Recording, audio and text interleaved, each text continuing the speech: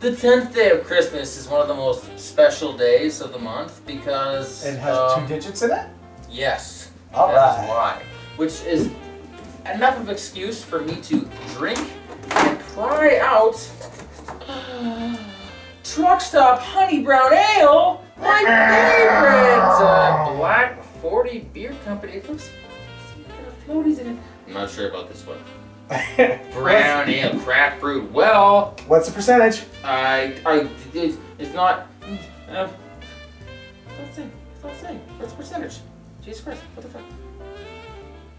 Oh, it's an undetermined percentage. Let's see what we got here, folks. We got from Alabama. Oh God, it's Alabama. There might be some might be some water of some kind in there. No percentage. Oh, there's no percent. It's five percent or five uh, five thing. Oh, dude, you gotta look this up. Ha ha! Enjoy looking it up. Truck stop honey ale. I'm going to assume it tastes like a truck stop honey. Take that for what you will. Merry Christmas, buckos. Truck stop honey brown ale.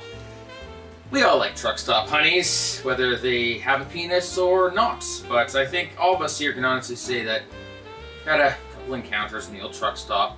Um, most of them pretty good actually. Uh, except for Jeff. Christ, he didn't shave. Um, in any case, though, Truck Stop Honey Brown Ale.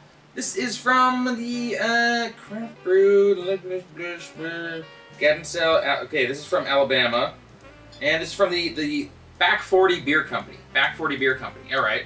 I've not heard of the Back 40 Beer Company before, but uh, I mean, we got a, a, a sexual innuendo for the the Back 40 thing. We got the Truck Stop Honey. I'm gonna guess this probably tastes a lot like having gay sex, so I'm really looking forward to it. Uh, this medium brown bodied English, or this medium bodied English brown ale is smooth and easy to enjoy. Wildflower honey is used to complement the roasted malts and subtle hop profile. Whether you're preparing for a delicious meal or enjoying a cool southern evening by the fire, you better have your honey.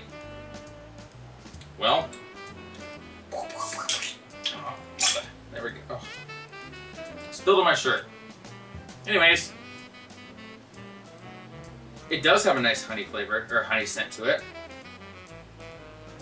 Very light, very... Barely smell anything, in fact. Let's give it a try. Oh, that's delicious. That's a good one. Yep. Um, instantly from the first, first sip, I would say I would buy again and I would get drunk off of it again.